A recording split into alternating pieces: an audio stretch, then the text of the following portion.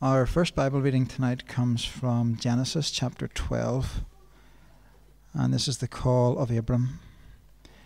Genesis 12, verse 1. The Lord said to Abram, Go from your country, your people, and your father's household to the land I will show you. I will make you into a great nation, and I will bless you. I will make your name great, and you will be a blessing. I will bless those who bless you, and whoever curses you, I will curse. And all peoples on earth will be blessed through you. So Abram went as the Lord had told him, and Lot went with him. Abram was seventy five years old when he set out from Haran. He took his wife Sarai, his nephew Lot, all the possessions they had accumulated, and the people they had acquired in Haran, and they set out for the land of Canaan, and they arrived there. Abram travelled through the land as far as the site of the great tree of Moreh at Shechem. At that time the Canaanites were in the land. The Lord appeared to Abram and said, To you, to your offspring, I will give this land. So he built an altar there to the Lord who had appeared to him. From there he went on towards the hills east of Bethel and pitched his tent, with Bethel on the west and Ai on the east. There he built an altar to the Lord and called on the name of the Lord. Then Abram set out and continued toward the Negev.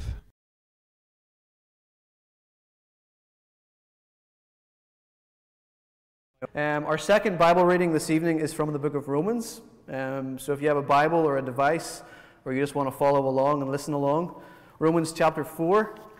We are Romans chapter 4, verses 13 to 25. Verses 13 to 25.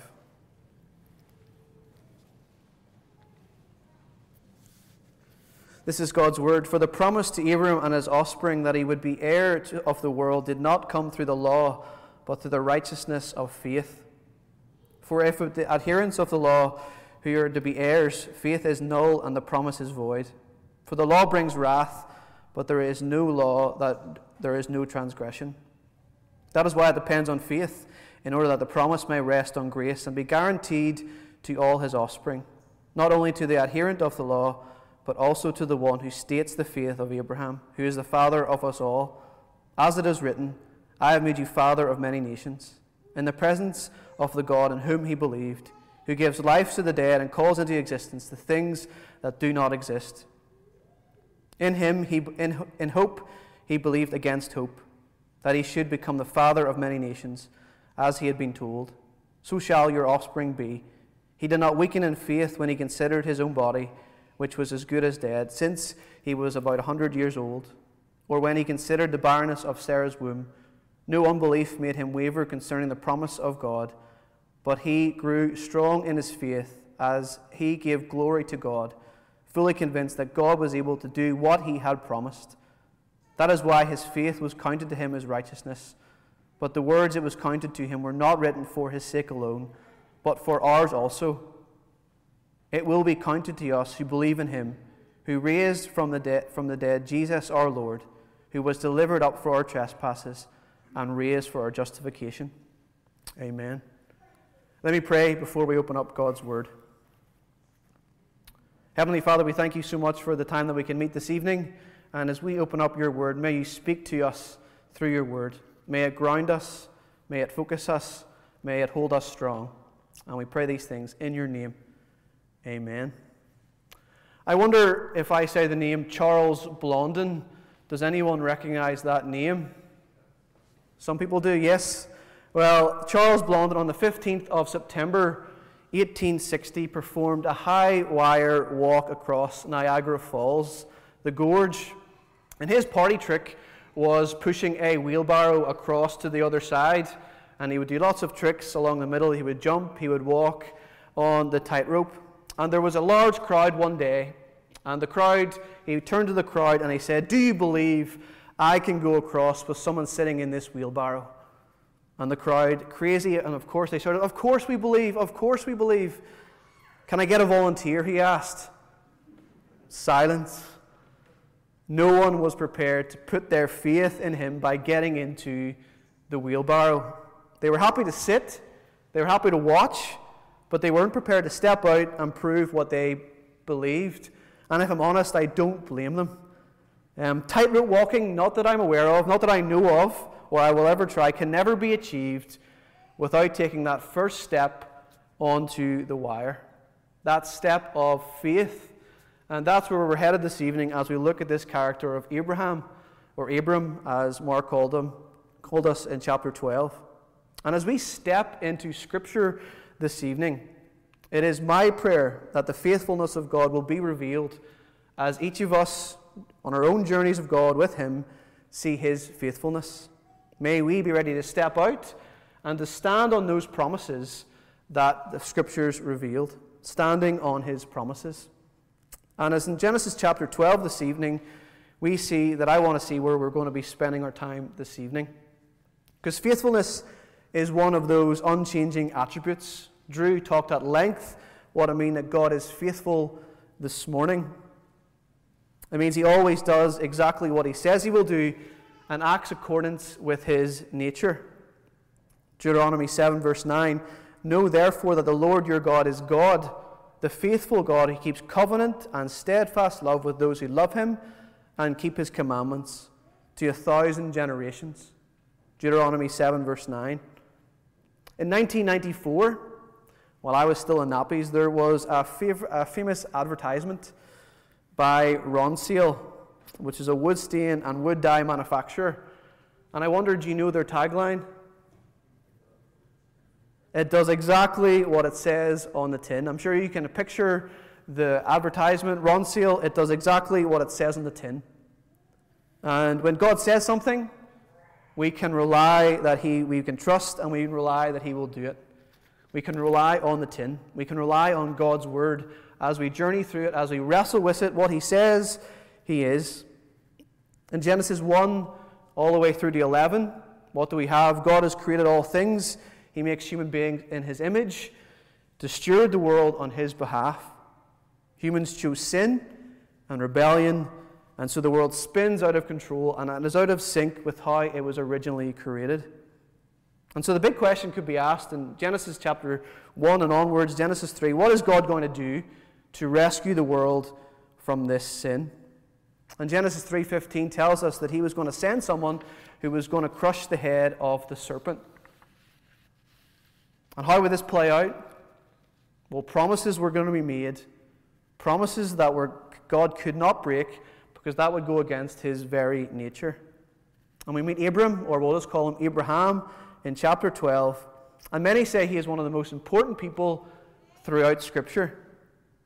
And we read in Romans 4, and you can get an overview of what that means, and we'll pick up, up, up that later. And as he opens Genesis 12, he's 75 years old, he's a nomad, he's childless, he's nothing really special. In chapter 11, in the Tower of Babel scene, the people who built the tower said, Let us make a name for ourselves in Genesis 11, verse 4. They wanted to make their name great. They didn't want to be scattered all over the earth that God had commanded that they would be a great nation. And now in Genesis 12, God calls Abraham. And what does he say? I will make you into a great nation, and I will bless you, and I will make your name great, and you will be a blessing. I will bless those who bless you. Whoever curses you, I will curse. And all peoples on earth will be blessed through you. Did you count how many times we have this idea of I will? Five times. I will make you into a great nation. I will bless you. I will make your name great. I will bless those who bless you. And I will curse those who curse you. God was going to do for Abraham what he had refused to let the people of Babel do for themselves. When God called Abraham, he didn't lay his whole plan before him and say, okay, here's what's going to happen here, here's what's going to happen here. He said, you're going to have to simply step into it and go. God didn't tell Abraham exactly where he was going. He promised to make Abraham's offering numerous as the dust on the earth on the stars in the sky.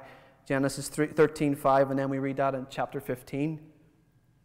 And put yourself in Abraham's situation. I'm sure those promises would have felt quite far off. He was promised a land, but he was still a nomad wandering. He was promised numerous descendants, but his wife was still barren.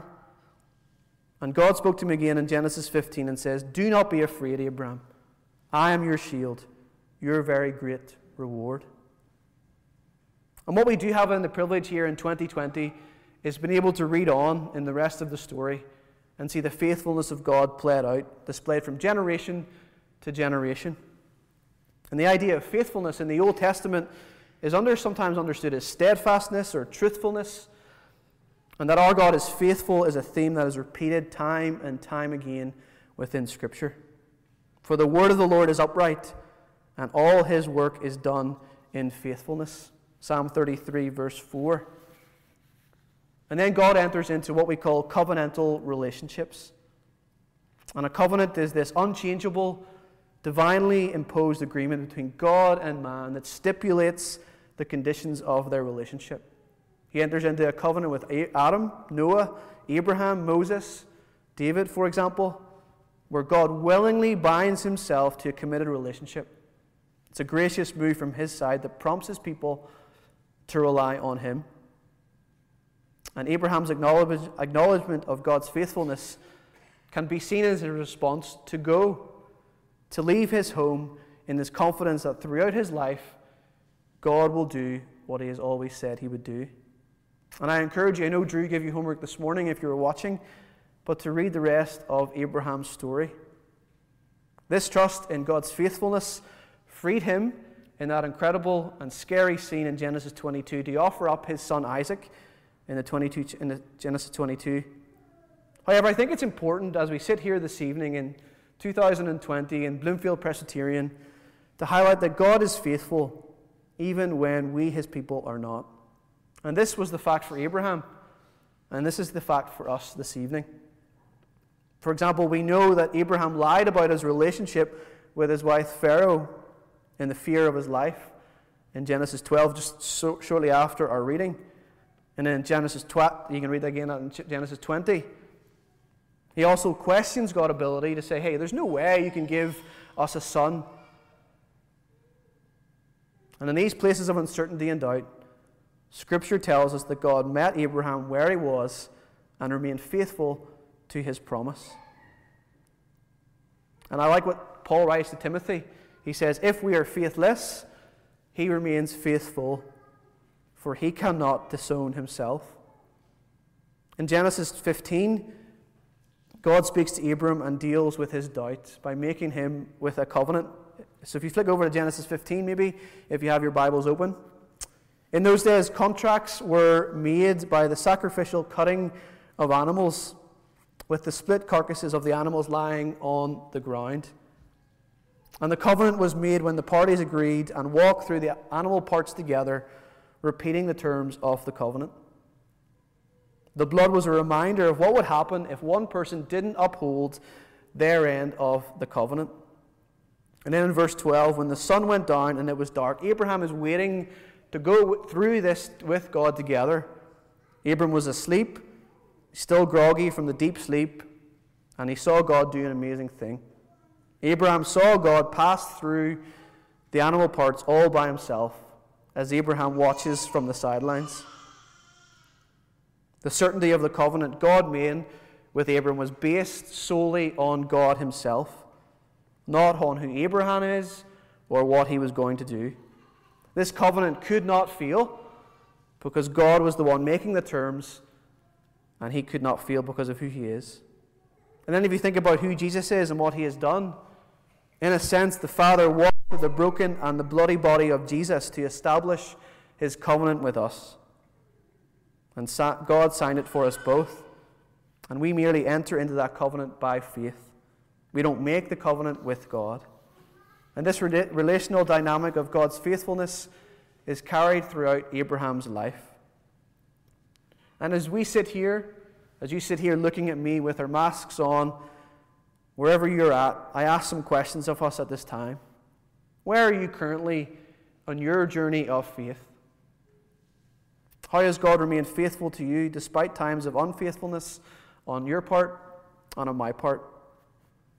Are there specific promises of God that you are standing upon? And one of the ways that we see this faithfulness in Abraham's life was the growth of the descendants of the, who became the Israelites in Exodus 1, verse 7. And he reassures them that he is merciful and gracious, slow to anger, and abounding in steadfast love and faithfulness. Exodus 34.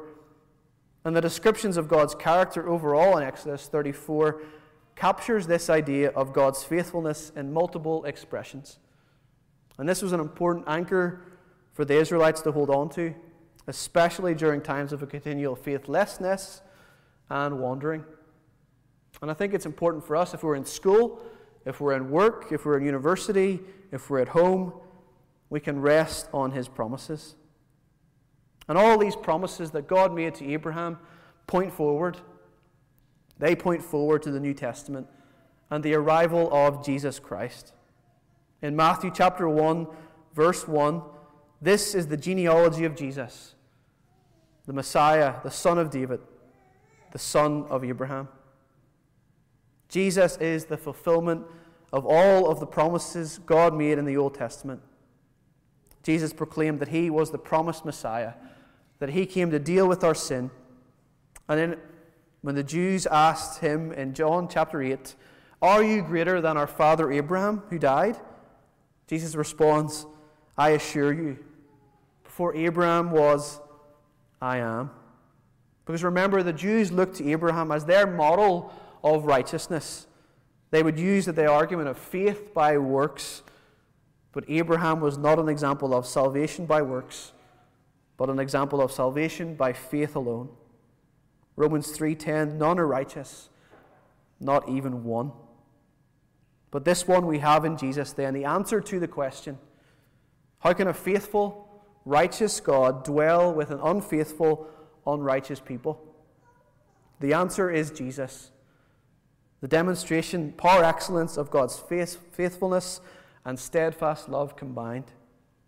In him, all the obstacles of his people's sin are overcome, and through his sacrificial death and resurrection. It is supremely in the cross of Christ that this steadfast love and faithfulness come together.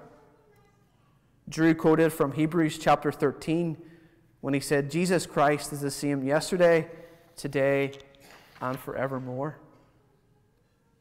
Our world is constantly changing. Fashion changes, culture changes, trends come and go. But the gospel truth remains unchanged, and it's forever unchanging. We sing to a God who is what? Faithful one, so unchanging. And this evening, you know what you and I need more than ever in this ever changing world? We need the changeless truth of Jesus Christ and his crucifixion, the changeless Christ who is completely reliable.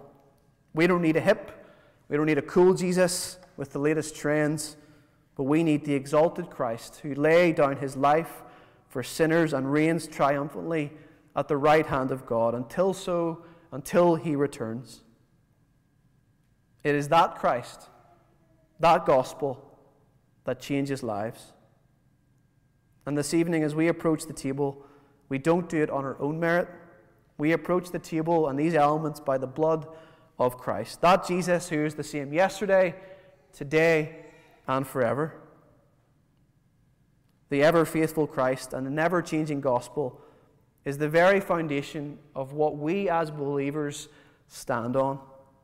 In the midst of our trials, in the midst of our suffering, our unbelief, our doubt, our struggles, we have a God who doesn't run away, He doesn't say, get on with it, work it on by yourself. He promises to walk alongside, to draw close, to walk alongside.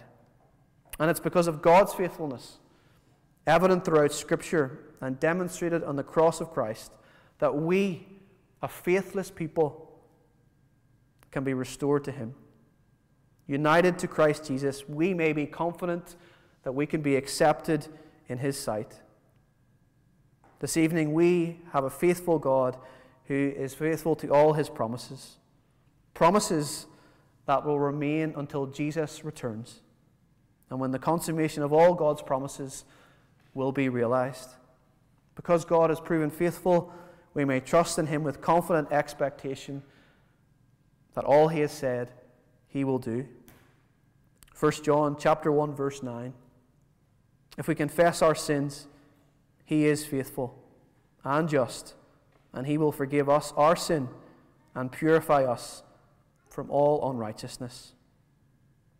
We have a God who is faithful despite our faithlessness. Let us approach Him this evening in faith, in boldness, because of what He has done on the cross. Let us join together in prayer. Heavenly Father, we thank you that we can approach you with boldness, in wisdom, and in strength because of the work you have done on the cross. Thank you that we can meet this evening as a body of your people, connected by you. We thank you for what you have done, that you are the faithful God, so unchanging. And this evening, as we think ahead into this week, may we completely rely on your promises. May we stand firm on those promises that you have revealed to us in your word. And may your word be the final authority for our lives. In an ever changing world, you are unchanging. The gospel truth never changes, and you're always with us. We thank you for who you are, and we pray these things in the strong name of Jesus. Amen.